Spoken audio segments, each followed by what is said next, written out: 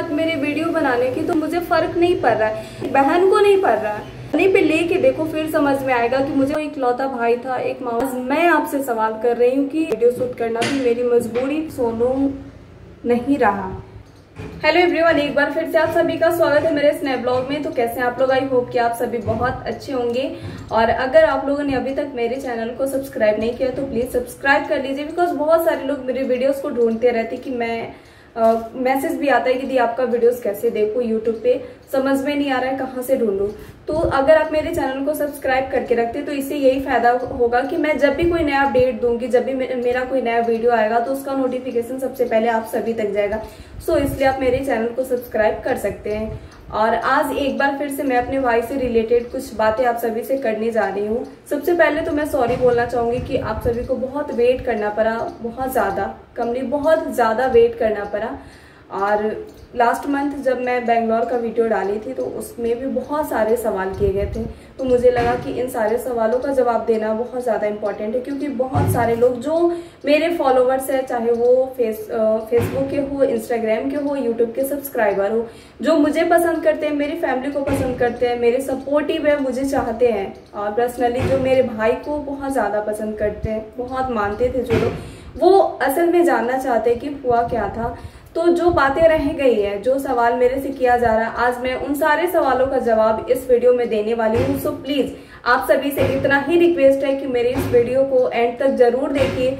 और मैं जो भी बातें बता रही हूँ प्लीज़ आप उसे ध्यान से सुनिए एक एक चीज़ को।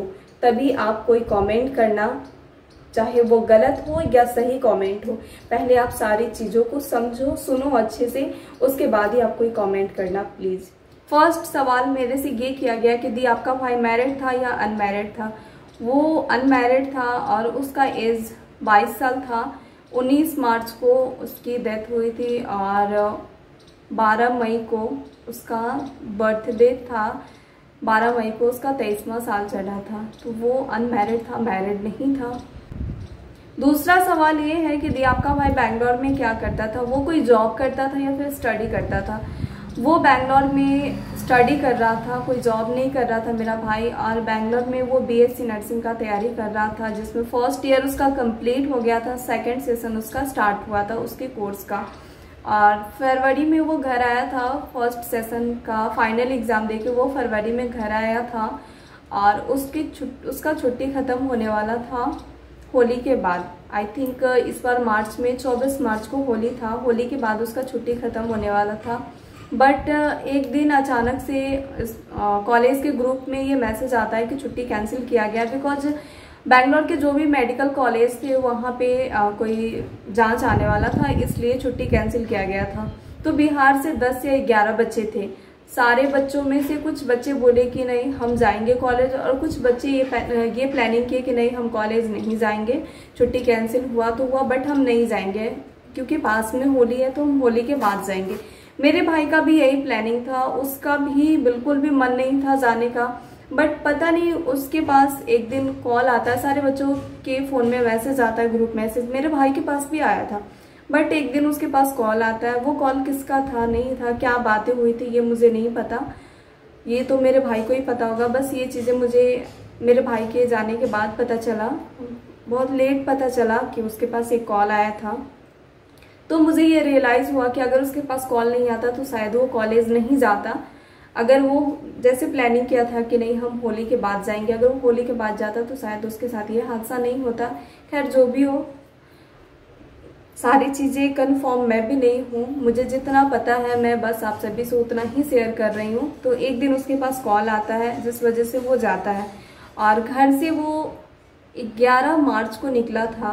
ग्यारह, बारह, तेरह। तेरह को वो कॉलेज पहुँचा, चौदह, पंद्रह, सोलह, सत्रह, अठारह। कॉलेज में सिर्फ़ वो पाँच दिन रहा और उन्नीस मार्च को अचानक से एक बजे मेरे पास कॉल आता है कि दी, आपका भाई नहीं रहा। तीसरा सवाल कि दी, आपको कैसे पता चला कि आपका भाई नहीं है? आपके पास फ़र्स्ट कॉल किसका आया था? ये सवाल भी मेरे से किया गया है।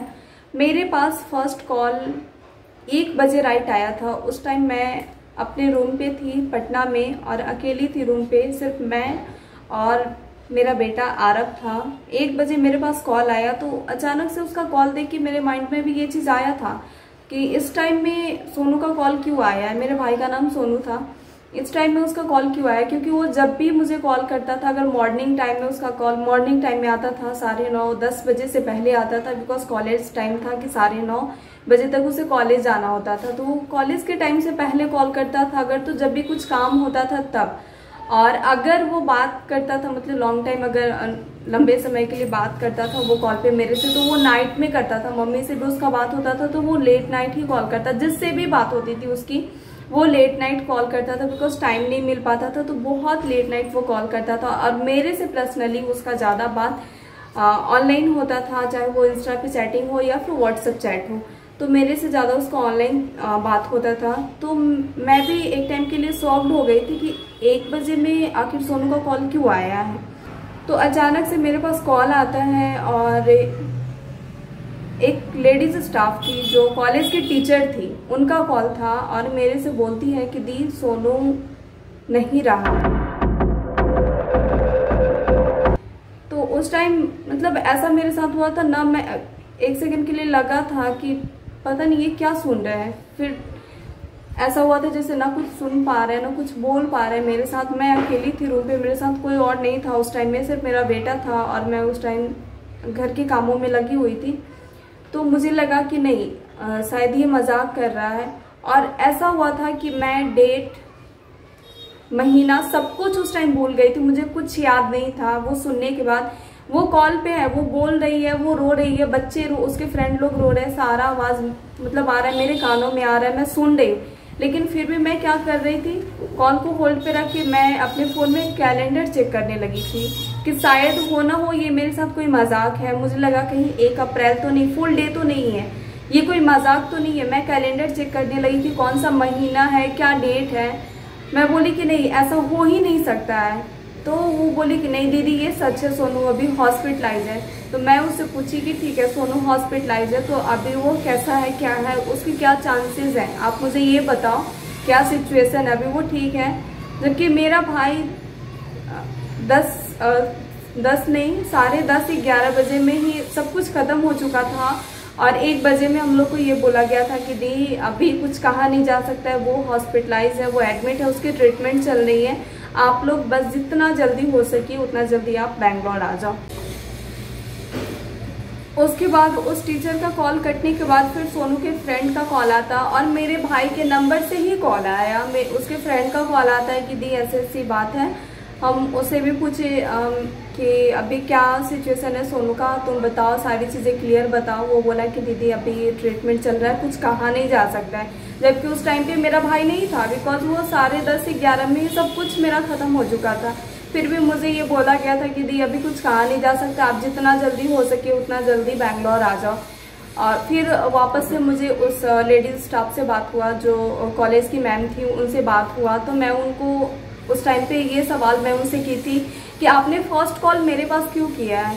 तो वो बोली कि दी सोनू ना हम लोग से कभी कभी शेयर करता था कि मम्मी पापा को कोई भी मतलब टेंशन वाली बातें होती है ना तो हम लोग हम तीनों भाई बहन मम्मी पापा से जल्दी शेयर नहीं करते बिकॉज़ मेरे मम्मी पापा मतलब हार्ट पेशेंट है तो वो टेंशन में आ जाते हैं उनकी तबीयत बिगड़ जाती है। ये चीज़ें सोनू हम लोग से शेयर करता था इसलिए आ, मुझे याद आया कि सोनू की बड़ी सिस्टर आ, मैं अपने भाई से बड़ी हूँ। सोनू की बड़े सिस्टर को कॉल करते हैं। उन्हें मतलब उन्हें बताना सही रहेगा, वो चीज़ें शायद संभाल सकती है। इतना बात वो मुझे बताई।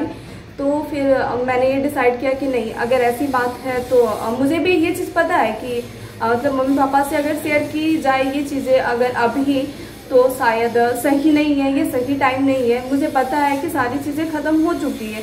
बट इस टाइम पे मैं नहीं शेयर कर सकती क्योंकि मेरा भाई बिहार से बहुत दूर था। उसे वहाँ से लाना घर पे बहुत लंबा टाइम चाहिए था इसके लिए।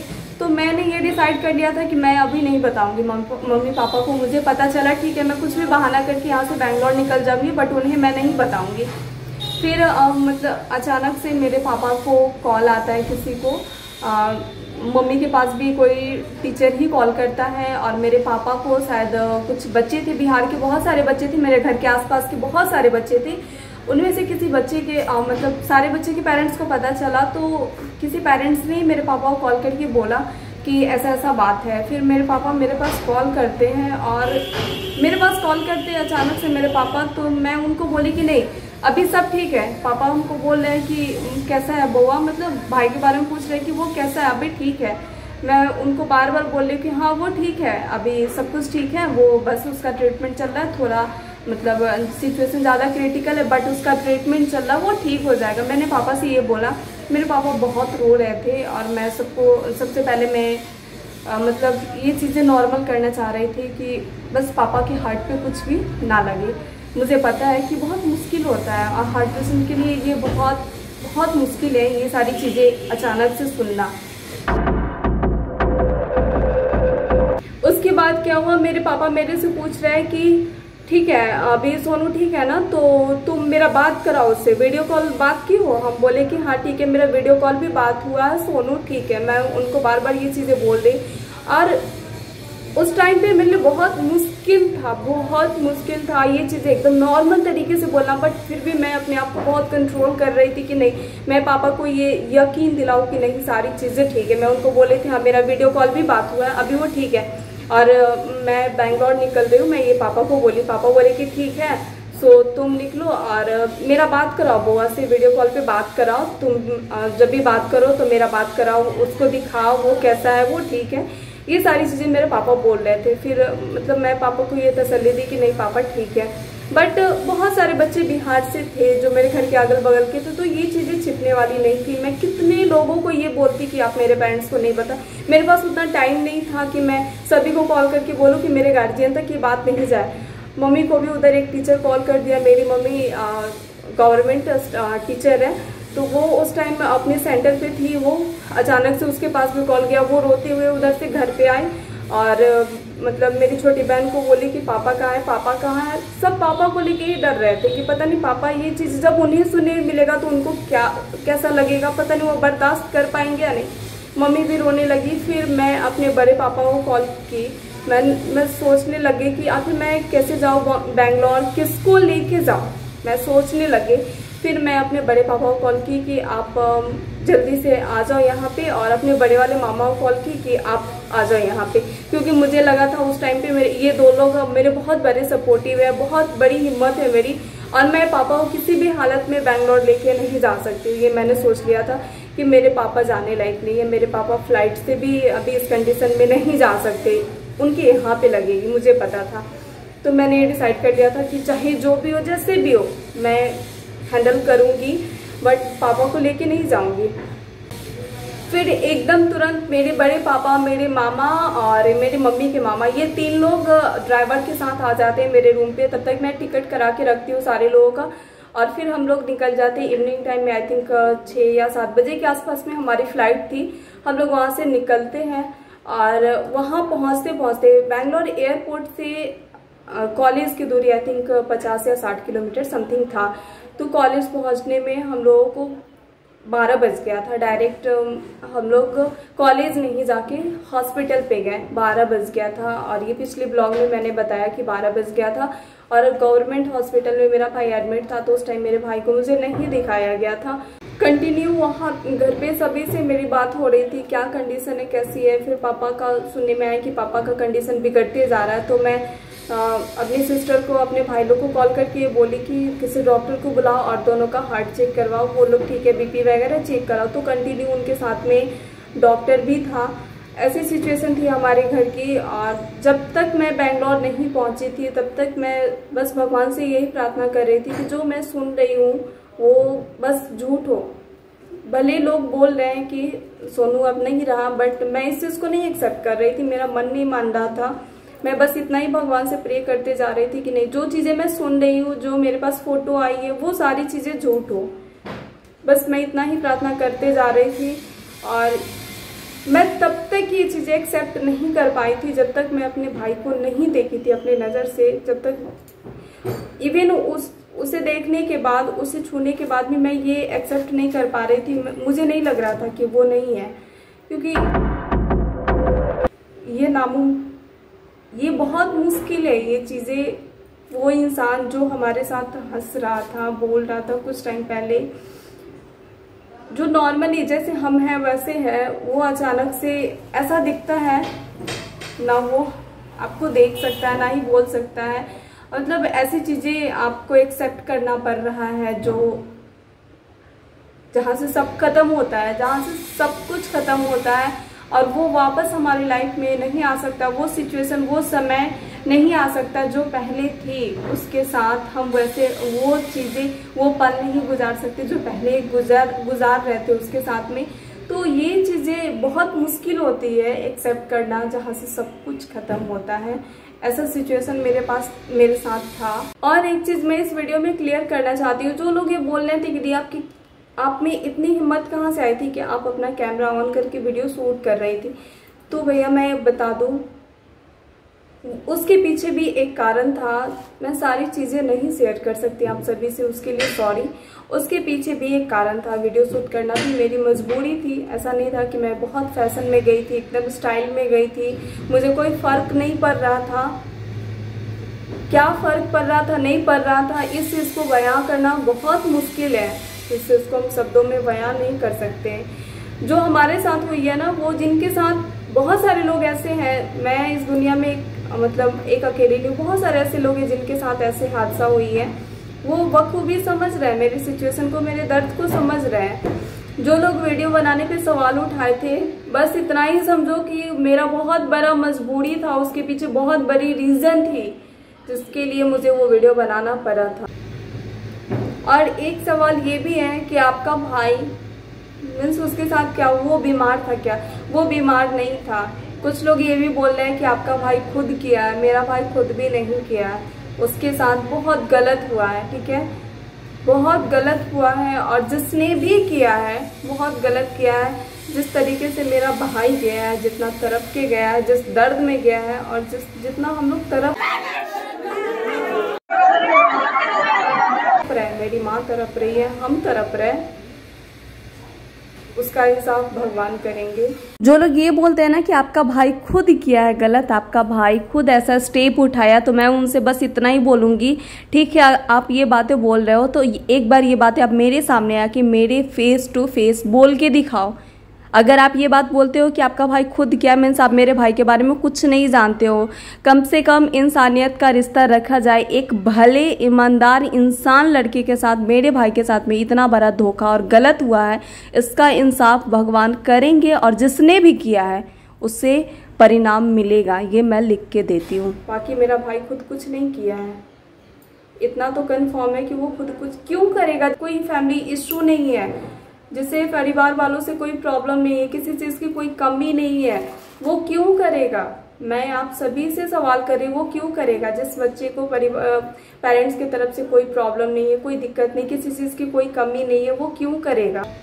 और जो लोग बोल रहे हैं कि दी आप कोई जाँच पड़ताल नहीं कर रहे तो ऐसा नहीं है। पुलिस इन्वेस्टिगेशन भी चल रही है, जो भी हुई, हम लोगों ने किया, बहुत सारी चीज़ें हम लोगों ने देखा यहाँ पे। बहुत सारे प्रूफ मिले हमें और जो मेन प्रूफ है वो हमें अभी तक नहीं मिला है। और सबसे बड़ा रीज़न क्या है कि ये बैंगलोर का केस है। अगर बिहार का होता तो हमारे पास बहुत सारे ऑप्शन थे। हम बहुत बहुत मतलब बहुत हेल्प मिलती सपोर्ट मिलती, लेकिन वहाँ पे वो ऐसा शहर है जहाँ पे ना हम किसी को जान रहे हैं, ना हमें कोई जान रहा है। कहीं से कोई सपोर्ट नहीं मिल सकता है। सबसे बड़ा रीज़न ये है। वो बैंगलोर है, बिहार नहीं है, हमारा बिहार होता तो मेरे लिए प्लस पॉइंट था कि मैं शायद उस मुकाम तक पहुँच पाती जो आप लोग मेरे से बोल रहे हो या फिर मैं जो चाह रही हूँ, मैं चाह के भी कुछ नहीं कर पा रही बट हाँ जो भी अभी आप लोग, जो भी आप लोगों ने बोला कि आप जाँच नहीं कर रही हूँ, आप कुछ जानने की कोशिश नहीं कर रही बट ऐसा नहीं है, हम तो कर रहे हैं। बाकी जो ऊपर वाला का मर्ज़ी होता है ना, उसके आगे किसी का नहीं चलता है। और हमारी ये बदकिस्मती है कि हम लोगों को ये सारी चीज़ें करनी पड़ रही हैं और वो कहते हैं ना कि धन भी गया, धर्म भी गया।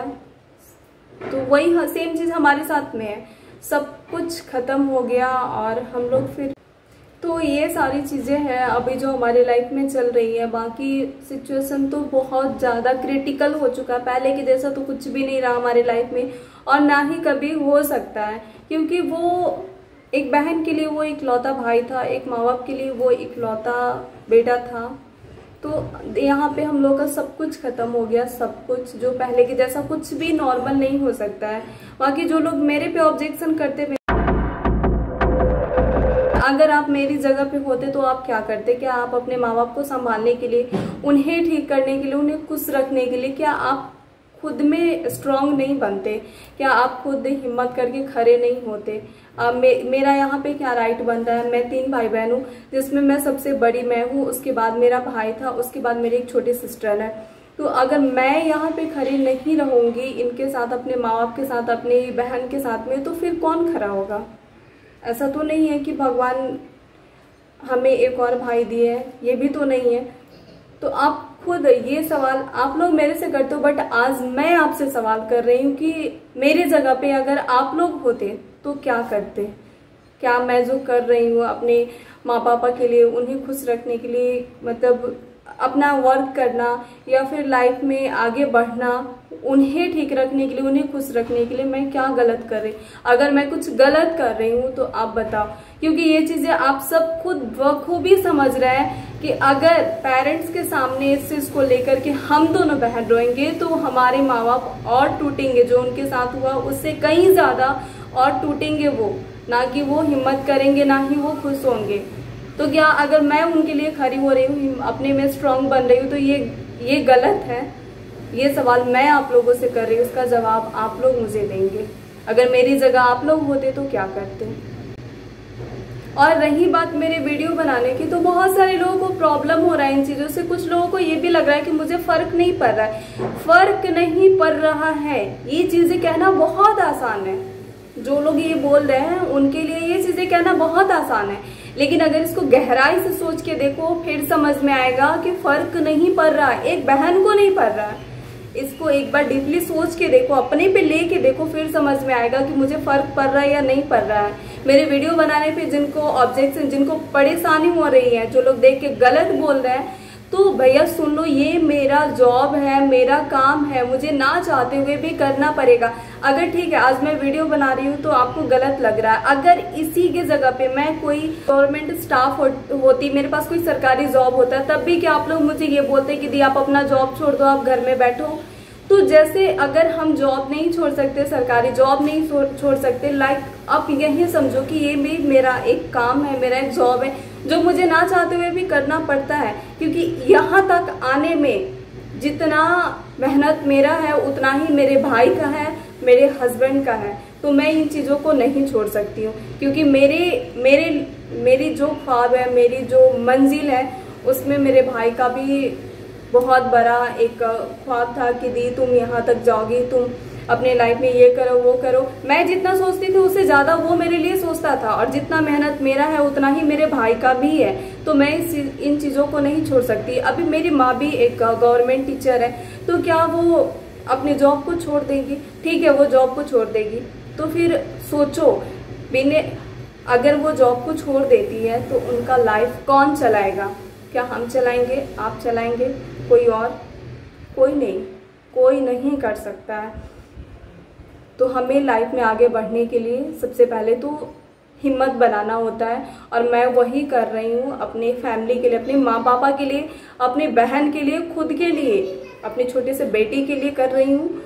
क्योंकि मुझे पता है कि मेरे, हम दोनों बहनों के अलावा ना मेरे मेरे माँ बाप का कोई है, ना हम, मेरे माँ बाप के अलावा हम दोनों बहनों का कोई है। तो मुझे बस, मुझे पता है मुझे क्या करना मैं वही कर रही हूँ। अगर मैं गलत कर रही हूँ तो आप बताओ कि दिया वीडियो बना रही आप गलत कर रही आप मत बनाओ। मेरी माँ हमेशा रोती रहती है। हमेशा वो जब भी याद आता है, वो रोती है। और उस टाइम पे मैं उनके उनके सामने वो रो रही है। मैं भी रो मैं भी टूट जाऊँ उनके सामने। तो क्या ये सही होगा मेरे लिए? मैं जो करूँगी उनके सामने वो रो रही है, मैं भी रो रही हूँ। ये करना मेरे लिए सही होगा?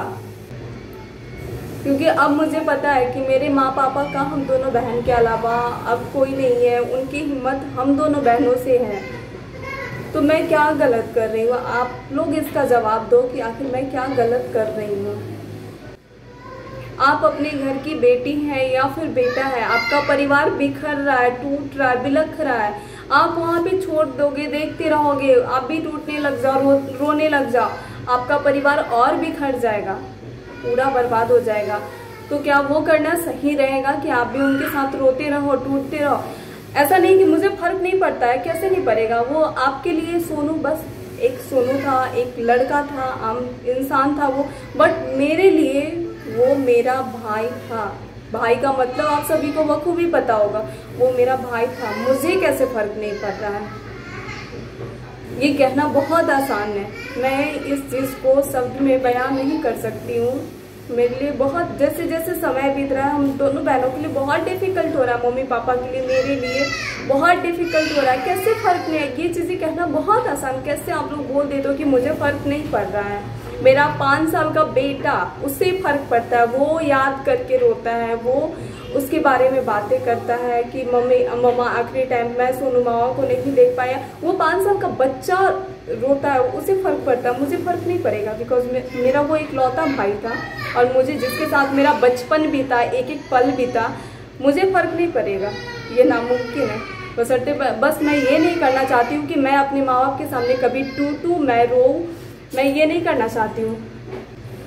जो लोग मेरे पे ये सवाल करते, मेरे एक बेटी होने पे जो मन में आ रहा है, बोल रहे हैं, जो मन में आ रहा है कह रहे हैं, उंगली उठा रहे हैं। मैं उनसे ही आज सवाल करती हूँ, अगर मैं खड़ी ना रहूँ तो मेरे माँ बाप के लिए कौन खड़ा होगा? क्या मेरा भाई रिटर्न आएगा? या फिर उनका दूसरा बेटा कोई आएगा? कौन खड़ा होगा? इसका जवाब आप लोग मुझे दो। जिस टाइम मैं बैंगलोर गई थी, अपने भाई की बॉडी खुलाने के लिए मुझे पता था कि मैं नहीं जाती, तभी आ जाता। लेकिन एक चीज़ मैं बता दूँ कि मेरा नहीं जाना और जाना दोनों में बहुत अंतर था, बहुत ज़्यादा। मुझे पता था, मैं उस टाइम समझ गई थी कि अगर मैं नहीं जाऊँगी तो शायद चीज़ें और बिगड़ सकती थी और बेंगलोर में खास करके बिगड़ सकती थी। मुझे पता है, मेरे बड़े पापा को पता है, मेरे मामा को पता है कि मैं कैसे अपने भाई को बेंगलोर से बिहार लाई थी, किस तरीके से मैं हम लोग सोनू को वहाँ से बिहार लाए मुझे क्या क्या करना पड़ा था, ये चीज़ें सिर्फ़ हम तीनों ही जान रहे जो वहाँ पे गए, उन्हें पता है। अगर मैं वहाँ पे रोती रहती, चिल्लाती रहती टूटते रहती तो क्या सारी चीज़ें ठीक हो जाती? सारी चीज़ें ठीक हो जाती, क्या फैमिली को हम संभाल, मेरे फैमिली को कोई और संभाल लेता? नहीं संभालता। इस सिचुएशन में मैं अगर हिम्मत करके खड़ी हूँ, चुप हूँ, अपने आँसू को छिपा के, अपने दर्द को छिपा के तो क्या मैं कोई गलत कर रही हूँ? इसका जवाब मुझे आप लोग दो। मैं इस वीडियो कर रही हूँ, यहीं पे एंड आई होप कि आप सभी मेरी बातों को समझ रहे हैं। और आप कोई निगेटिव कमेंट्स नहीं करेंगे। मुझे बस आप सभी से इतना ही रिक्वेस्ट है क्योंकि मेरी जो बातें थी, मेरी जो फीलिंग्स थी, वो मैंने आप सभी से शेयर किया है। बस मेरा आपसे इतना ही रिक्वेस्ट है कि आप मेरी बातों को समझ रहे हैं।